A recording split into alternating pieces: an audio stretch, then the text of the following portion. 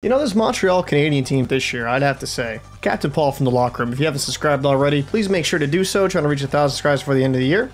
Let's get into it.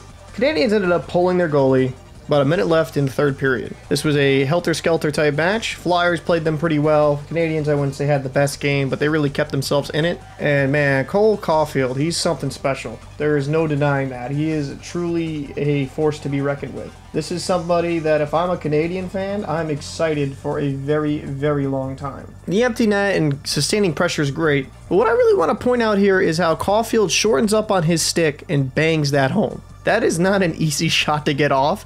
And if you look how he's gripping very low on his stick, to generate that much power that he did on that shot is extremely impressive. Wins like this show that the future is just around the corner for the Canadiens. Are they going to win a Stanley Cup this year? No, probably not.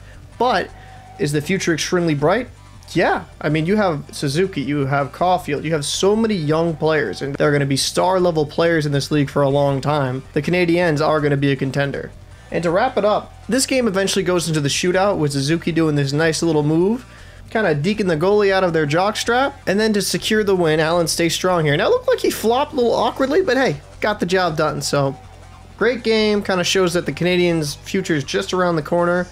And it's going to be kind of fun watching Canadian games throughout the season. I'm Captain Paul from the Locker. What did you think of this comeback? I'd be interested to know your thoughts down below. If you haven't already, please make sure to subscribe, and I'll see you in the next video. Hayes cuts in and stopped by Allen, and the Canadiens won it.